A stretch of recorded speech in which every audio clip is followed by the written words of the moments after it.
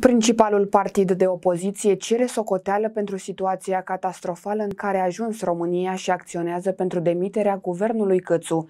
Într-un timp record, mai puțin de șase luni, actualul guvern a făcut din România o țară eșuată.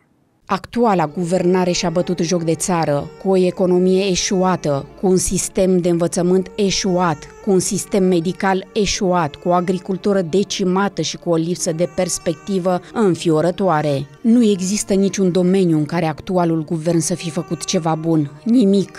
PSD cere socoteală pentru situația catastrofală în care a ajuns România și acționează pentru demiterea guvernului Câțu. Ce părere aveți despre asta? Părere foarte bună ăștia ne-a pus capac. Așa că PSD-ul a mai mișcat ce a mai mișcat, dar ăștia ne-a pus capac. N-am niciun, nimic cu nimeni, nu sunt în niciun partid, nu fac politică, dar sunt pensionară, dar ne-a terminat. Da, așa este. Vorba vecinii să se ducă, să ne vină cineva care merită.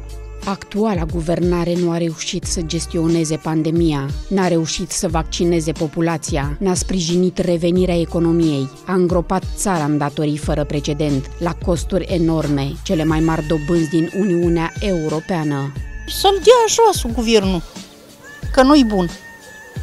Nu a mai mărit alocațiile copiilor, pensiile, mm. de pensionare a crescut. Ei, numai pentru ei. Acum ce să faci? Asta e. Suma incompetențelor și irresponsabilității actualului cabinet a transformat într-o sinistră bătaie de joc marea oportunitate a PNRR, care în loc să deservească scopul nobil prin care a fost gândit de Comisia Europeană, consolidarea și dezvoltarea economică națională, a ajuns să umfle cu miliarde de euro conturile clienților și consultanților sinecuriști ai actualei puteri.